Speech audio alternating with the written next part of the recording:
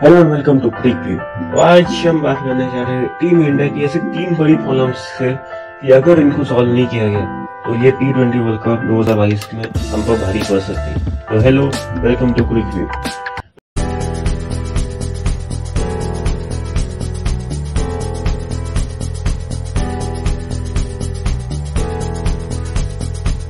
तीन बड़ी प्रॉब्लम बात करने से पहले आपको बता दें कि वेस्ट इंडीज सीरीज़ अब खत्म हो चुकी है। इंडिया फोर वन से टी ट्वेंटी सीरीज़ को सॉरी जीत लिया सीरीज़ को और तीन बड़ी प्रॉब्लम में से सबसे बड़ी प्रॉब्लम कल हमें वापस एक बार देखने को मिली द थर्ड ओपनर प्रॉब्लम या तीसरे ओपनर्स के लिए हमारी टीम इंडिया बहुत सारे एक्सपेरिमेंट कर दिए मतलब कि इतना ओपनिंग के अंदर हमने कभी देखा नहीं होगा।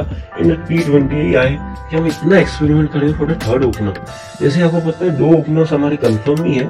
ये अगर कप्तान रोहित शर्मा कप्तान अबू कप्तान के राहुल हमारे ओपनिंग करने वाले अगर फिटनेस का कोई इश्यू नहीं हुआ तो, तो लेकिन कभी भी कुछ भी हो सकता है यू नेवर नो पर हम चाहेंगे किसी को कुछ ना हो लेकिन अगर कुछ हो जाए जैसे कि इंजरी हो जाए या कुछ भी अन्य वजह हो जाए उसके लिए बैकअप ओपनर होना ज़रूरी है। तो बैकअप ओपनर के लिए ऐसा लग रहा था कि ऑडिशन चालू है। पहले ऋषभ पंत को ट्राई किया जा रहा था इंग्लैंड सीरीज़ में।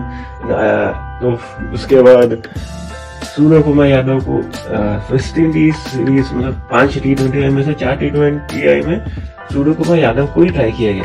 पहले दो टी ट्वेंटी आई ना नहीं ठीक करे लेकिन जो थर्ड टी ट्वेंटी आई वो मैच विनिंग था। सूर्य कुमार यादव ने हमें मैच जिताया। लेकिन आखिरी टी ट्वेंटी आई में हैरानी करने वाली बात है, रोहित शर्मा नहीं खेल रहे थे, पता है।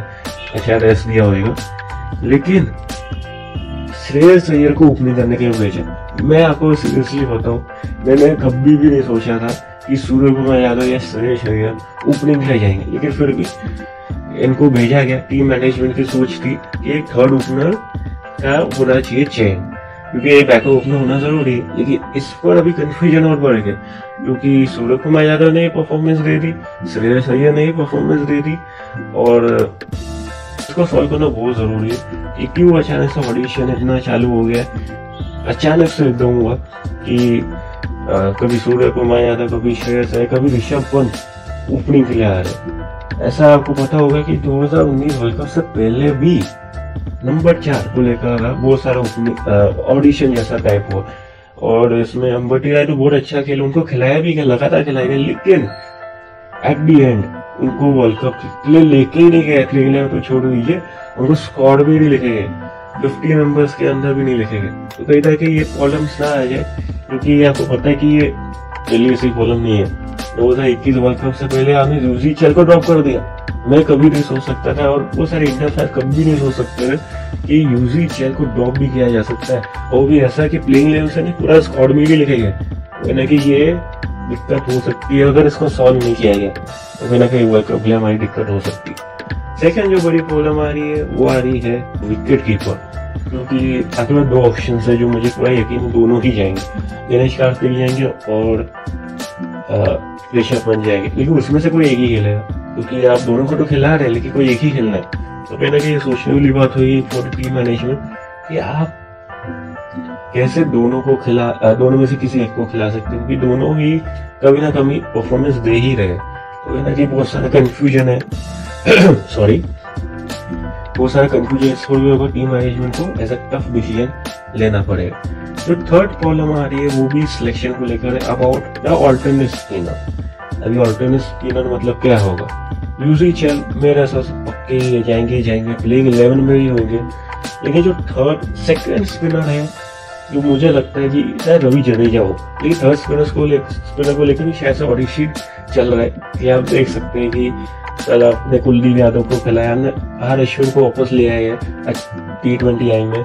और अक्षर पटेल भी अच्छी बॉलिंग करे तो कहते हैं कि इस पर भी कंफ्यूजन हो सकता है कि थर्ड स्पिनर को आप लेके जा सकते हैं। ऑस्ट्रेलिया के अंदर दो स्पिनर मेरे हिसाब से खेलेंगे, वो यूसी चैल और रवि जडेजा क्योंकि रवि जडेजा बहुत अच्छी बैटिंग कर सकते हैं। और ऐसा ऑलराउंडर हार्दिक पांड्या और रवि जडेजा आपके टीम में होनी चाहिए ऐसा फिनिशर एज अ ऑलराउंडर कहीं ना कहीं इसको लेकर भी कहने की दिक्कत है, क्योंकि आपने अब तक पूरी स्क्वाड को सेट नहीं किया है।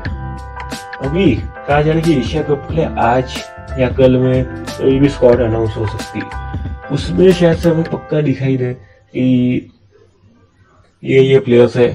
और ऐसा कहा भी जाता है, ऐसी रिपोर्ट भी आ रही थी कि Asia cup T twenty world cup की स्क्वाड जो है, वो एकदम ऐसी ही होगी उसके बीच में, क्योंकि हमारे पास अभी तीन बड़े टूर्नामेंट और टूर्स है। पहला एशिया कप ऑब्वियसली यूए के अंदर होना है। तो हमारे में इंडिया के अंदर दो टूर्स होने वाले हैं।